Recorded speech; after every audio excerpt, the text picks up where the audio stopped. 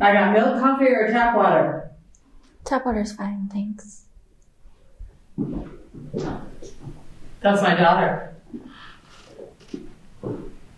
She passed on three years ago. I'm sorry.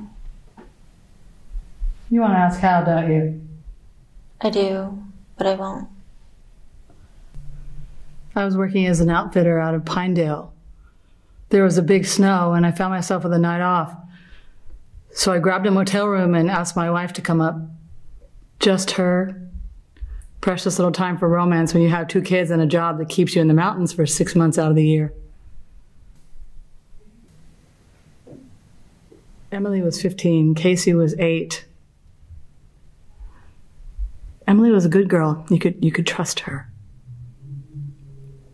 I guess word got out that we were out of town and she had some school friends come over. Then some more people came over. And then some people that she didn't know came over. The get together got a little out of hand. I don't know what happened. It was Natalie that called us the next morning. She told us Emily was missing. Natalie and Emily, they were best friends.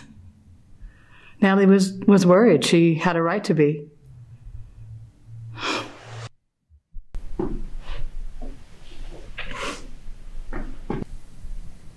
You try to be so careful. You try to plan for everything. Emily was a Emily was a good girl. We let our guard down. You'll have kids someday, and let me tell you, Jane, you, you can't blink. Not once for 18 years. A rancher was moving his sheep out near Wind River, and he's the one who found her. She was nearly 20 miles away from home. How she got there, how it happened, I don't know. Didn't get much from the autopsy either because the coyotes had been at her pretty good. And I have been killing those sons of bitches ever since. Um, can you point me towards your Yeah, back that way.